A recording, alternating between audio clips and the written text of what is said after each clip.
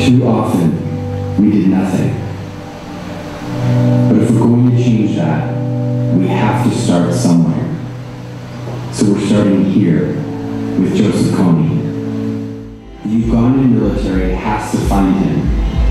In order to find him, they need the technology and training to track him in the vast jungle. The US government has to deploy them. They've done that, but if the government doesn't believe the people care about arresting Kony, the mission will be canceled. My name is Santo. I come from northern Uganda. I'm 23 years old now. And the war started as early as 1986, three years before I was born.